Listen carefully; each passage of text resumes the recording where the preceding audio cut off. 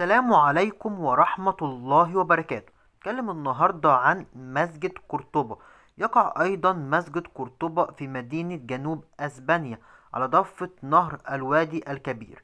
التاريخ اللي اتبنى فيه عام 785 على يد عبد الرحمن من الداخل مؤسس الدولة الأموية في الأندلس. استغرق بناء المسجد أكثر من قرنين من الزمن حيث تم توسيعه. وإضافة مرافق جديدة له من قبل الخلفاء وتم تحويل المسجد إلى كاتدرائية بعد سقوط الأندلس عام 1236 من أهم المميزات أن بيعد مسجد قرطبة أكبر المساجد في أوروبا حيث تبلغ مساحته 23 ألف متر مربع ويعرف المسجد بأعمدته الرخامية الجميلة وأقواسه المميزة وتعد تحفة معمارية إسلامية. ويضم أيضا المسجد العديد من المرافق زي مكتبة ضخمة ومدرسة دينية. ويعد أيضا مسجد قرطبة من أهم المعالم السياحية في أسبانيا ويزور سنويا ملايين من السياح من جميع أنحاء العالم. طب إيه هي مكونات المسجد؟ أول حاجة حاجة اسمها الصحن. هي الفناء الداخلي للمسجد وتحيط به أوراق ذات أعمدة وأقواس. حاجة اللي بعد كده المحراب هو مكان الإمام في الصلاة ويقع وسط الجدران الجنوبي للمسجد. حاجة اللي بعد كده المنبر هو منبر خشبي يستخدم في خطبة الجمعة والحاجة الأخيرة اللي هي المأذنة وهي برج مرتفع يستخدم للأذان. ويعد أيضا مسجد قرطبة من مواقع التراث العالمي لليونسكو.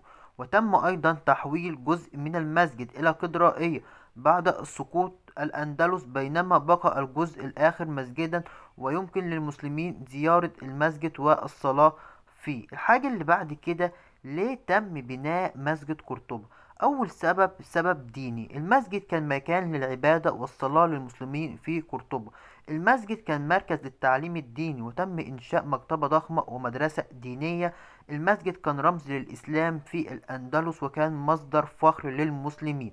أما من ناحية الأسباب السياسية فالمسجد كان رمز لسيادة الدولة الأموية في الأندلس والمسجد كان مكان لإقامة صلاة الجمعة وهي خطبة سياسية تلقي كل أسبوع. المسجد كان مكان للقاء زعماء المسلمين ومناقشة الأمور السياسية في الدولة. الحاجة اللي بعد كده هي الأسباب اجتماعية.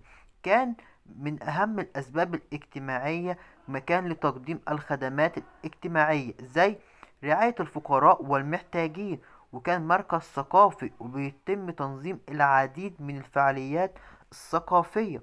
أما حكاية مسجد قرطبة تبدأ حكاية مسجد قرطبة عام 784 عندما دخل عبد الرحمن مؤسس الدولة الأموية الأندلس مدينة قرطبة فوجد عبد الرحمن كنيسة قرطبة في مكان المسجد الحالي فقام بشرائها وقسمها بين المسلمين والمسيحيين.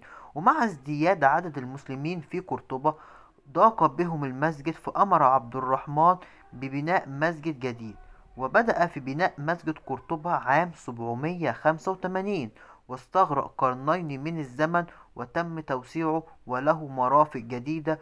وفي عام 2006 تم إصدار حكم قضائي يسمح للمسلمين بأداء صلاة الجمعة داخل المسجد قرطبة وتعد حكاية مسجد قرطبة حكاية حضارة إسلامية عريقة وحكاية صراع بين حضارتين وأيضا هو رمز للتعايش بين الأديان. تأثير مسجد قرطبة من الناحية المعمارية مسجد قرطبة ده تحفة إسلامية بتميز بالأعمدة الرخامية الجميلة وأقواسه المميزة الحاجة التانية أثر مسجد قرطبة على فن العمارة في الأندلس في جميع أنحاء العالم. طب تأثيره من الناحية الثقافية؟ بالنسبة للناحية الثقافية مسجد قرطبة مركز لتع... للتعلم والمعرفة حيث تم إنشاء مكتبة ضخمة ومدرسة دينية. وساهم أيضا المسجد في نشر العلم والمعرفة في الأندلس. الحاجة الثالثة والأخيرة إن. المسجد كان مركز للترجمة حيث تم ترجمة العديد من الكتب ومن اللغات الأخرى.